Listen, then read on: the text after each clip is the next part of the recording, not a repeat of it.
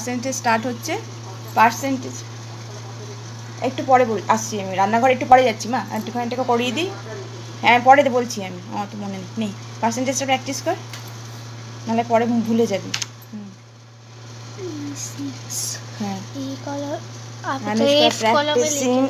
Percentage in Excel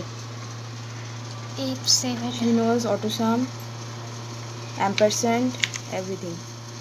Hmm. f seven by hmm. by fifty. Hmm.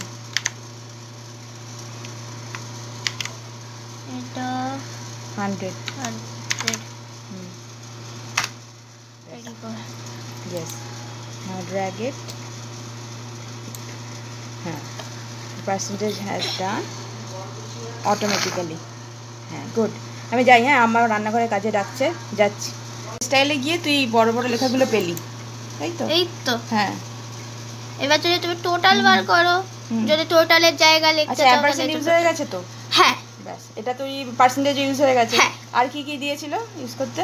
এবারে দিয়েছে তোমার হ্যাঁ এইচটিএমএল হ্যাঁ। তার আগে এটা সেভ হুম এটা করে নে এইচটিএমএলটা প্র্যাকটিস করবি। লিখেছিস তো প্রথমে আছে HTML tag head tag title my favourite place title head body colour body BG colour blue font colour grey blue এর মধ্যে গ্রে দেখা যাবে তো body background C desktop at the